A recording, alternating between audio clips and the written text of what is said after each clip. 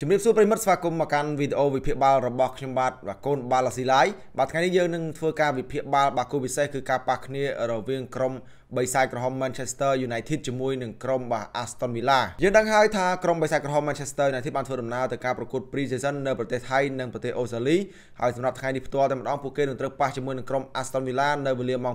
2:45នាទីថែមទៀតផងបិសាចក្រហមក្រោមការដឹកនាំរបស់លោកដែលទាំងហាក់គឺពិតជាធ្វើបានល្អមែនទែនដោយយកឈ្នះទៅលើក្រុមហង្សក្រហម Liverpool បាទក្រុម Melbourne Victory ហើយនឹងចុងក្រោយប្រកួតរបស់គេនឹងគឺឈ្នះទៅលើក្រុម Crystal Palace បាទថែមទៀតផងចំណែកក្រុម Aston Villa នឹងក៏មិនណយដែរដោយពួកគេបានយកឈ្នះទៅលើក្រុម Valencia ក្រុម Leeds United និងក្រុមបាទ Brisbane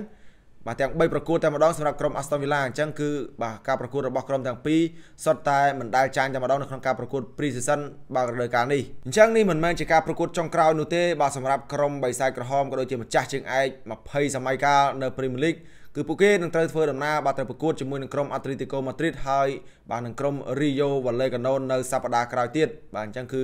នៅដំណើររបស់ពួកគេនៅវែងឆ្ងាយណាស់បាទសម្រាប់ការប្រកួត Pre-season នេះសម្រាប់ក្រុមបិសាចក្រហម Manchester United ក្រោយពីប្រកួតបាទ Pre-season នេះចប់ក្រុមរបស់លោក Erik ten Hag នឹងត្រូវបាទបំពេញភារកិច្ចនៅក្នុងការប្រកួត Premier League បាទជាមួយនឹងក្រុម Brighton នៅថ្ងៃទី7បាទខែសីហាបាទគឺខែក្រោយនេះហើយបាទអញ្ចឹងយើងដឹងហើយថាក្រុមការដឹកនាំរបស់លោក Erik ten Hag បាទក្រុមបិសាចក្រហម Manchester United គឺទម្រង់លេងរបស់គេបាទពិតជាគួរឲ្យកត់សម្គាល់មែននៅក្នុងការប្រកួត Pre-season បាទយើងដឹងហើយឈ្នះឈ្នះយកតែមែនតើមកឈ្នះសតតែច្រើនគ្រាប់ទៀតផងបាទ11គ្រាប់បងប្អូនបាទ3ប្រកួត11គ្រាប់សម្រាប់ក្រុមលោកអេទាំងហាក់បើទោះបីជាការការប្រកួតនេះគឺជាការប្រកួតមិត្តភាពមែនបើយើងប្រៀបធៀបពីរដូវកាលមុនបាទយើងដឹងហើយថាក្រុមបិសាចក្រហម Manchester United គឺធ្វើមិនបានល្អនោះទេដែលបញ្ចប់ចំណាត់ថ្នាក់នឹងគឺនៅលេខ6ហើយអត់បានពៀនអីសំបីតែមួយអ្វីដែលពិសេសនោះគឺមិនមានកៅអីលេងនៅក្នុងពានរង្វាន់ UEFA Champions League ថែមទៀតផង បាទប៉ុន្តែនៅរដូវកាលនេះទម្រង់លេងគឺពិតជាប្លែកមែនទែនបាទគេថ្មីចាស់តែម្ដងបាទសម្រាប់ក្រុមបិសាចក្រហមឥឡូវយើងចូលដល់បាទរឿងរ៉ាវជាមួយនឹងកីឡាករចំណូលថ្មីបាទសម្រាប់ក្រុមបិសាចក្រហម Manchester United បាទចំណូលថ្មីគឺមាន3នាក់ដែរបាទគឺកីឡាករ Cyril Malaysia បាទកីឡាករ Christian Eriksen ហើយនិងកីឡាករបាទ Lisandro Martinez បាទដែលមកពីអាសាបាទក្រុមការដឹកនាំរបស់លោក Erik ten Hag ណាបាទដែលយកមកពីអាសា Amsterdam តែម្ដងប៉ុន្តែសម្រាប់ការប្រកួតនៅរាត្រីនេះ គឺបាទជាស្រ័យនៅនៅថ្ងៃនេះបាទគឺមានតែកីឡាករ Cyril Malaysia តែប៉ុណ្ណោះដែលបាទដែលបង្ហាញវត្តមានហើយសម្រាប់កីឡាករ Lisandro Martinez ហើយនិង Christian Eriksen បាទ ពួកគាត់ទាំងពីរនាក់នឹងបង្ហាញខ្លួនបាទខ្ញុំគិតថានឹងបង្ហាញខ្លួននៅការប្រកួតជាមួយនឹងក្រុម Atletico Madrid ហើយនឹងក្រុម Rio Vallecano បាទសម្រាប់កីឡាករទាំងពីរនាក់នេះមិនត្រឹមតែប៉ុណ្ណោះទេបាទក្រុមបិសាចក្រហម Manchester United នៅតែចិញ្ចឹមចិញ្ចឹមចិត្តបាទចិញ្ចឹមចិត្តបាទនិយាយខុសបាទចិញ្ចឹមចិត្តចង់បានកីឡាករ Frankie De Jong ក៏ដោយបាទប៉ុន្តែសម្រាប់កីឡាករ Frankie De Jong គឺគាត់មិនចង់មកក្រុមបិសាចក្រហម Manchester United នោះទេហើយការប្រកួតនៅនៅថ្ងៃនេះ បាននៅតែបន្តអវត្តមានកីឡាករ Cristiano Ronaldo ដដែលដោយសារតែគាត់នៅតែចង់ចេញពី Manchester United មកទោះបីមកដល់រាល់ថ្ងៃនេះនៅតែពុំមានក្លឹបណាដែលចង់យករូបគាត់ទៅរួមក្រុមក៏ដោយសម្រាប់ក្រុម Aston Villa វិញបាទការប្រកួតមិត្តភាពរបស់គេគឺនៅត្រូវប៉ះ Manchester United ថ្ងៃនេះមួយប្រកួតហើយ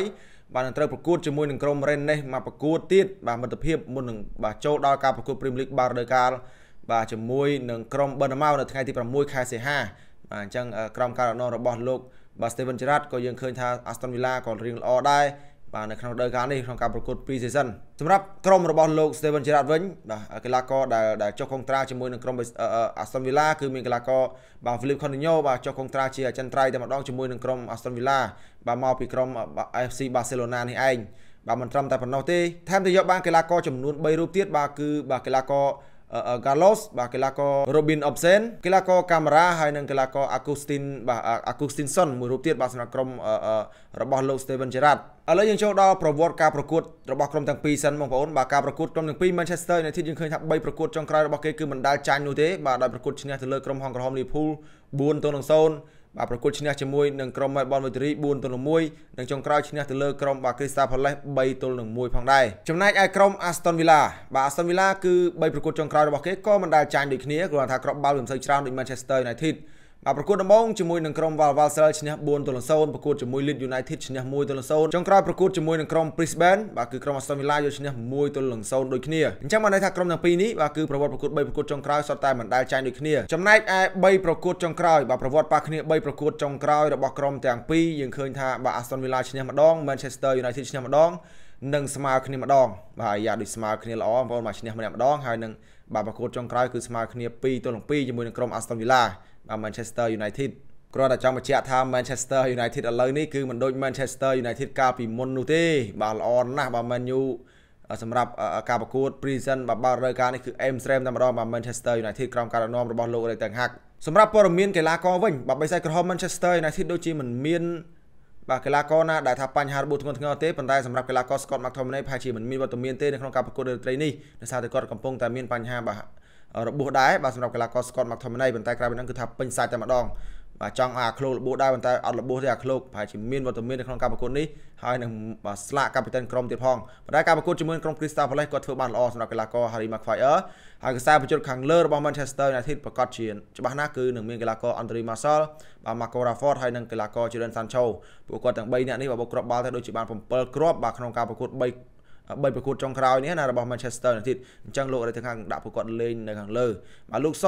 បាទប្រហែលជានឹងអាចក៏មានវត្តមានដែរ បាទកីឡាករ Tyrell Malaysia បាទអាចនៅកៃបំរុងសិនបាទចូលតាំងទី2ណាបាទកីឡាករ Tyrell Malaysia ចំណែកឯក្រុម Aston Villa បាទដូចជាអវត្តមានកីឡាករមួយចំនួនដែរតែមិនសូវជាសំខាន់ប្រហែលទេ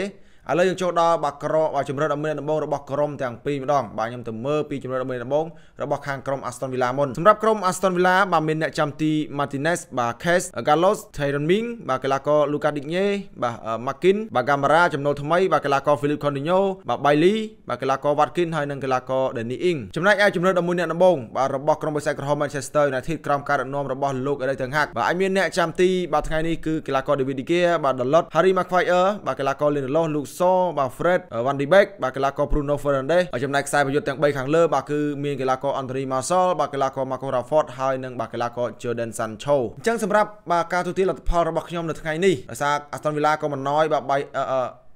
Manchester United ក៏មិនអន់ប្រវត្តិប៉ះគ្នាក៏មិនមានពីណាគេស៊ីដាច់ពីណាដែរ3 3ប្រកួតចុងក្រោយអញ្ចឹងការប្រកួតថ្ងៃនេះខ្ញុំគិតថាក្រុមបិសាចក្រហម Manchester United នឹងឈ្នះក្រុម Aston Villa ក្នុងលទ្ធផល2ទល់នឹង1ចុះសម្រាប់បងប្អូនវិញថាតើ Manchester United របស់យើងអាចយកឈ្នះក្រុម Aston Villa បានដែរឬទេនៅការប្រកួតវេលាម៉ោង2រសៀលនេះបាទអាចធ្វើការ comment នៅក្នុងវីដេអូរបស់ខ្ញុំបាទកូនបាល់ស៊ីឡាយបានហើយកុំភ្លេចជួបគ្នាតែម្ដងបាទនៅក្នុងការផ្សាយបន្តផ្ទាល់វេលាម៉ោង2:45នាទីនៅលើ page នេះតែម្ដងអរគុណបងប្អូនបាទជម្រាបលា